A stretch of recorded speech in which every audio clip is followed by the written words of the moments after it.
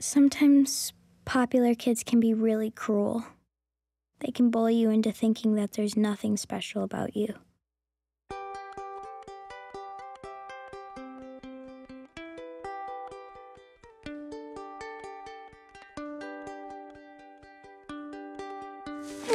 Bryce, Bryce, come on, get off!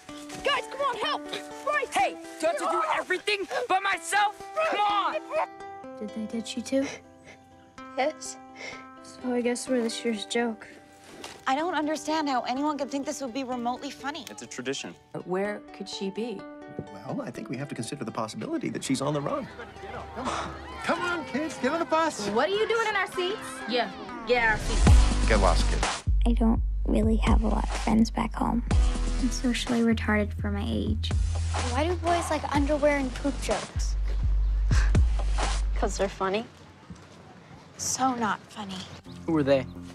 This is Bonnie and her brother Clyde. Never seen him before. Where are we going? She's going to kill me.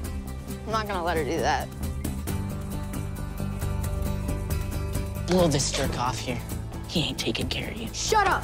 Look, Clyde, you keep flabbing your mouth and I will make sure it shuts permanently. You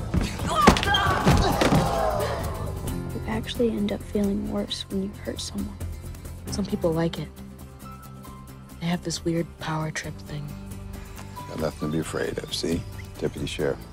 Oh, he's coming! Hang up. Here, reach the pedal! That Clyde is super bad. Wait. I should do it. I look more innocent.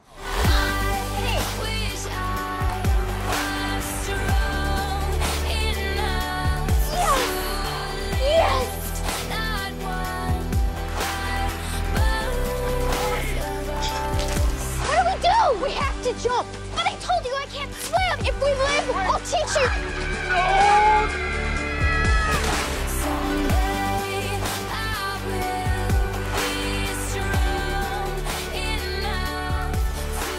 The bullies tried to make us feel small. In a weird way, it did just the opposite. God has a way of giving you what you need when times get tough. I'm not afraid anymore. I'm tough now, like you said.